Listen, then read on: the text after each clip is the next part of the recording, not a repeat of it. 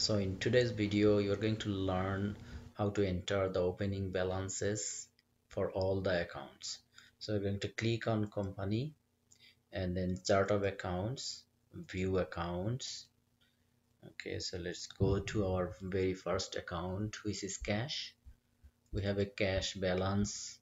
Opening balance of cash is uh, $200,000. So you see uh, there is an opening balance uh, box here so type in $200,000 okay save and close. So it says in order to balance your account a credit of $200,000 has been added to retained earnings. So we are debiting you know what happened here is that we debited our cash account and credited retained earnings. So every time we enter an opening balance for an for an account so it, it's going to either debit or credit our retained earnings account next uh, account is is our accounts receivable control.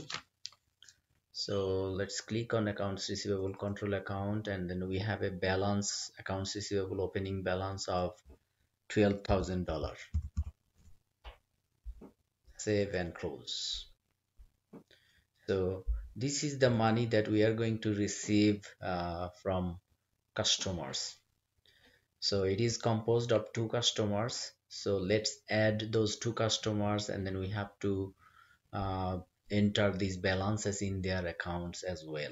Uh, so to add those clients you have to click on client and revenue and then client add client. So one of the client name is Limerick Corporation okay so limerick corporation save and close. Now go to that uh, limerick corporation view client and double click there. Here if you click on this uh, right arrow here you'd see historical transaction. Click there on that tab and then invoice. You can just put any invoice number. We don't have any invoice number so just we can put one two and the date of the date of the opening balance is 30th of November and then the amount maybe is eight thousand dollar record. So it has been recorded. The other customer name is um, uh, Mercer Incorporated. So let's add that uh, customer here. Mercer Incorporated so save and close and then double click again on that client and then again uh, right arrow here historical transactions. Click on invoice any invoice number that one was 12 this one could be could be 13 and the opening balance is four thousand dollars. So these two together will be equal to twelve thousand dollars. So we are done with our um, with entering the balances for our clients now we'll go back to our company and then chart of accounts. So the next account opening uh, opening balance that we are going to enter is uh, accounts payable control. So let's go a little bit down. Okay so accounts payable control here. So the opening balance here is uh, 12 thousand three hundred. So again we owe this money to uh, one or more of our vendors. In this case I would consider two vendors that we owe this money um, to. And uh, those vendor names uh, are not here set up yet. So we are going to add these two vendors so suppliers and expense we would click. And then suppliers here add supplier. Okay b2b corporation. Save and close. Okay so again go to supplier view supplier then double click.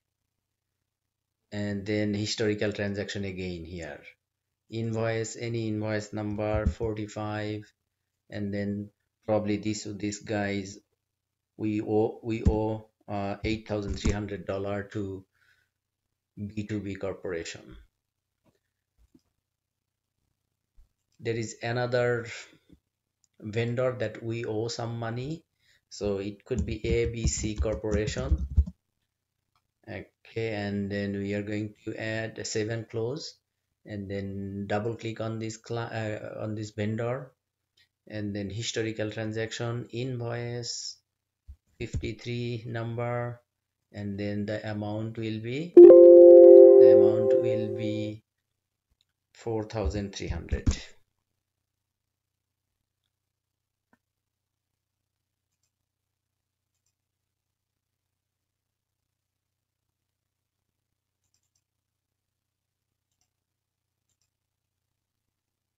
so invoice number is 53 the amount will be 4300 record so we are all set up with our um, accounts payable balances opening opening balances and accounts receivable opening balances. Now let's look at some other um, asset accounts. Uh, building. We have a building. Uh, the building account is set up already so we're going to enter the opening balance for that account let's find that uh, building account. Here it is building. Building account opening balance is 150,000 and then it has an accumulated depreciation. Uh, accumulated depreciation is an is a contra account for building but it is appearing uh, in the asset section. It has normally a credit balance. So uh, we have to put a negative sign before the balance. So maybe the balance is 12,125 opening balance. So we're going to put the more important thing here is that we have to put a negative sign before the amount and then save and close. Similarly we can set up all other asset accounts now let's look at uh, let's look at uh, dividend. Dividend is a, uh, is a is a is an account um, in the equity section but it has a equities all equity accounts has a credit balance but dividend has a debit balance. So similarly here in the dividend amount when we put the opening balance we have to put a negative sign maybe 5000 dividend $5000 worth of dividend was paid to the shareholder so negative 5000 seven close